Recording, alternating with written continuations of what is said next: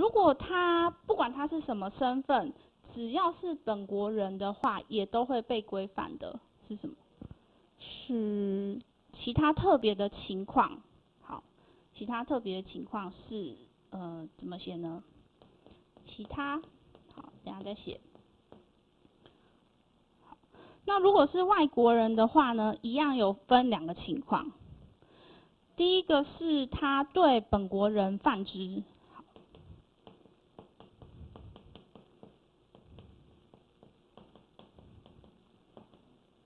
那第二个情况一样叫做其他。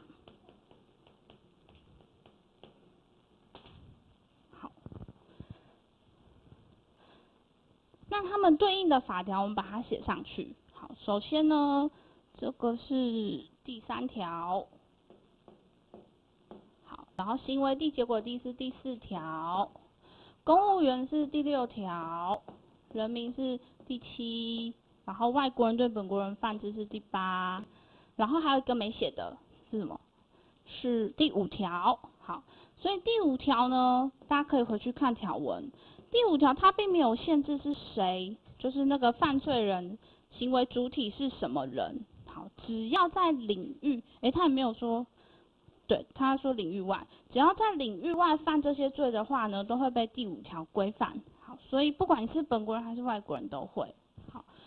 那我们如果真的写到实例题的话，虽然说几率很低，那如果想要实例题的话呢，呃，就是可以尽量按照这个顺序去思考跟答题。比如说今天设计有一个题目，然后呢你看完之后发现说，哎，这个就是外国人对本国人犯之啊，是第八条。好，但是你在答题上也没有办法直接写说，哦，依照刑法第八条，由我国刑法适用。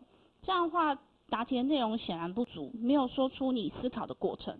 好，那思考过程就可以借助这个，你就说，呃，本题呢是领域内还是领域外？好，本国本题领域外。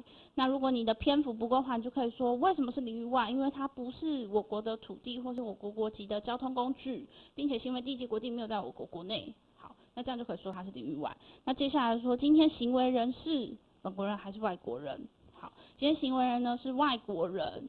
然后呢，他对被害人是怎样怎样，他犯了什么什么罪，好，所以呢，依照刑法第八条，这样内容就会充实一点点，就是只比你单写条号，然后写结论来的多一些东西。好，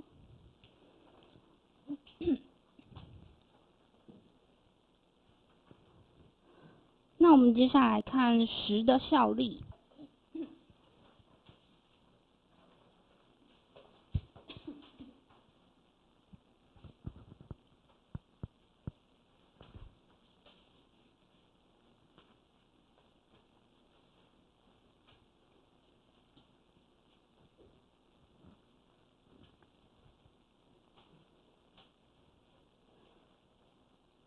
好，关于时的效力呢，法条有规定，就是在第二条。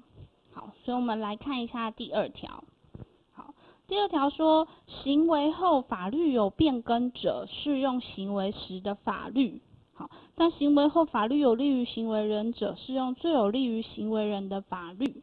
好，简单来说呢，这一条啊，可以分成两个部分，就是下面整理的标题。第一个就是原则。原则上，行为后有法律变更时，适用行为时的法律。好，不管有没有变更，都是适用行为时就对了。好，所以把那个行为时做个记号，把它画起来。原则上就是适用行为时。好，那例外呢？我们先看标题。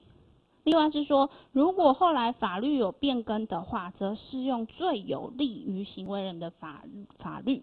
好所以把那个最有利化一下，所以结论就是原则上呢适用行为时的法律，好，那例外时候呢适用最有利的法律。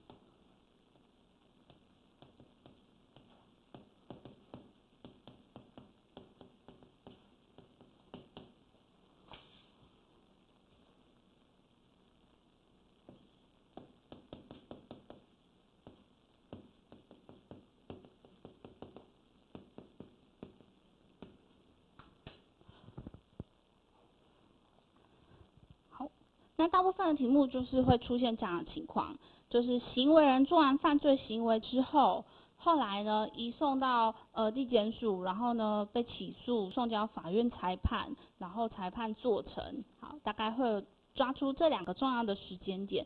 那期间呢就发生了法律变更的状况。好，那我们先不管什么行为时啊、最有利啊那些的，就单就这样子的时间轴来看的话，法律变更以前。我们就叫它旧法，这应该可以理解吧？好，就是不管你在哪一个法都一样啊，就是法律变更以前我们就叫做旧法嘛，这应该是只是一个客观陈述。好，那如果法律变更以后呢，我们就叫做新法。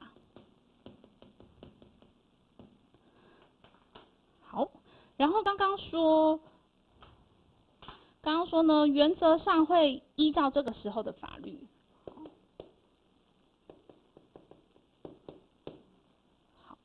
然后例外的时候呢，采用这个裁判时的法律，例外。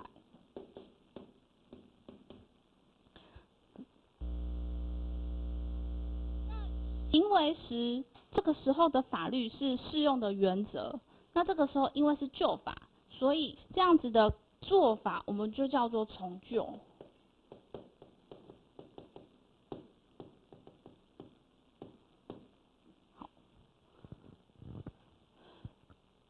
例外的时候才会适用裁判时的新法，但是呢，适用的法律并不是因为它比较新，而是因为它对行为人比较有利，所以我们着眼的并不是因为它新，而是因为它比较轻。好，所以呢，例外我们就叫做从轻。好，所以合在一起呢，就叫做从旧从轻原则。应该还蛮简单的。那接下来呢，我们就来了解说为什么要重旧，为什么要重清。那这样的话，这个学习就算是结束了。